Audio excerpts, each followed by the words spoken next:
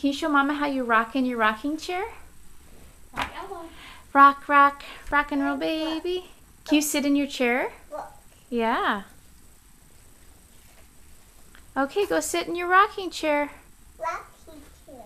Oh, very oh, good. What's it called again? Chair. What is it? A rocking chair? Yeah. How do you say it? Chair. Chair. okay, rock, rock, rock and roll, baby. Rock, rock, rock and roll, baby. There we go.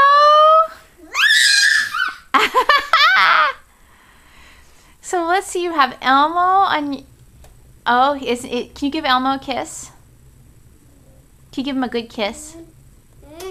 Oh, that's a good kiss. Elmo loves his kisses.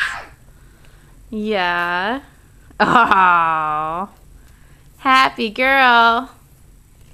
Today is July 4th, and we went to the farmer's market, we went to church, and my friend Heather is here right now, and we're watching Annika play with Mama's rocking chair from when she was a little kid, and I just wiped about 32 years of dust off of it.